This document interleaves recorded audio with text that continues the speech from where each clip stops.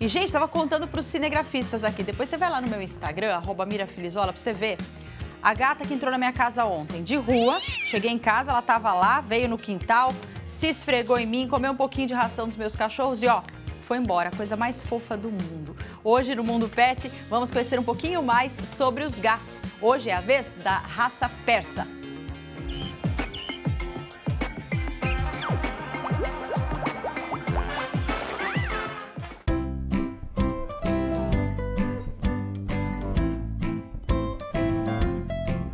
Sara, me conta um pouquinho da sua relação com os gatos persa. Você tem dois, é isso? Isso, tenho dois gatos, dois irmãozinhos. Dois irmãozinhos, qual é o nome deles?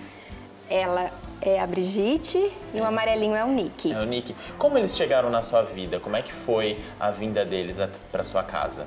Olha, eu sempre amei gatos em geral, mas aí eu ganhei o casalzinho de persas de uma amiga e desde então meu amor por eles só aumentou. Eles são muito caseiros, muito tranquilos, super companheiros. Uhum. E como é que foi para você ter, ter eles na sua casa? Como é que foi a adaptação deles? A adaptação deles foi super fácil, super tranquila.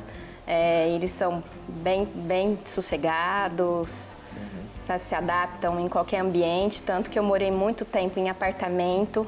Eles são bem tranquilos, caseiros. É... São de fazer bagunça ou não? Então, como todo gato, eles dormem bastante durante o dia. É. À noite, eles brincam bastante entre eles, fazem bagunça, assim, quando uhum. filhotes mais. Uhum. Mas principalmente o machinho, até hoje, ele é super bagunceiro. Bagunceiro. É. E você teve que tomar algum cuidado específico com eles por causa da raça ou por causa da pelagem, alguma coisa assim? Você tem um, um cuidado específico com eles? Sim, tenho. É, diariamente eu tenho que fazer a escovação deles por conta da pelagem é, os pelos longos. Uhum. É, a limpeza dos olhos também é feita diariamente, porque eles lacrimejam com frequência. A alimentação deles tem que ser controlada, de qualidade também, é, específica para a raça, uhum. para manter a pele boa, a pelagem, uhum. né?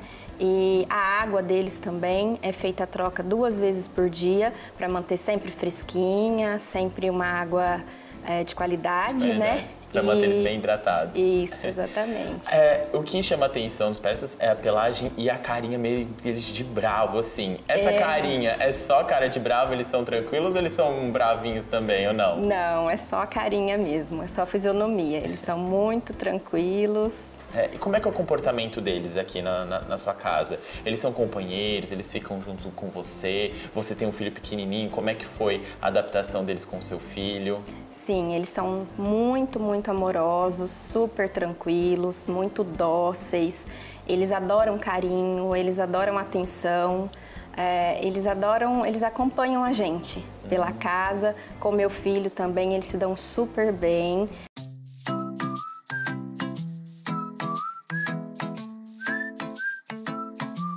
Os persas, pela pelagem longa, né? precisam de cuidados com a pelagem, né, escovação diariamente para é, ajudar, né, que, que eles acabam se lambendo e ingerindo muito pelo.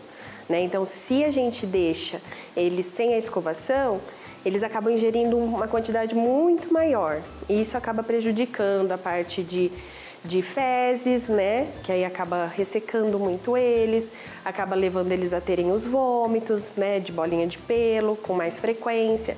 Então, a escovação, além de ajudar a manter o pelo saudável, né, ajuda também nessa questão da, do excesso né, da pelagem que eles ingerem.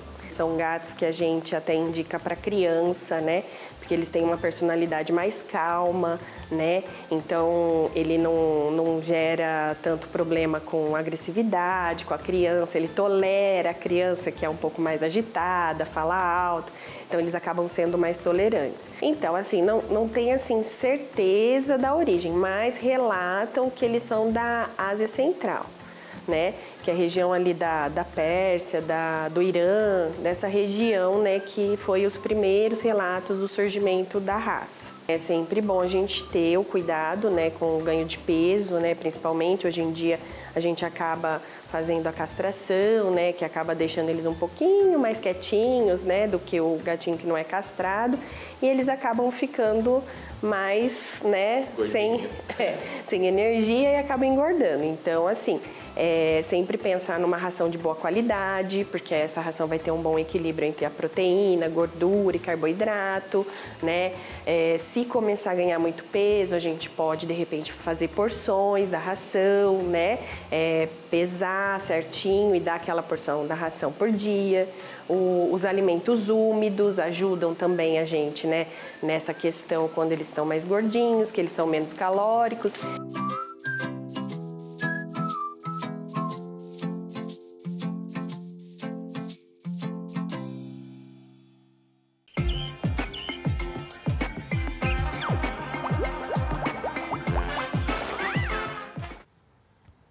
Coisa mais linda do mundo, né, gente? Manda aí a foto do seu gatinho, da sua gatinha, para ele ficar famoso aqui no SBT e você.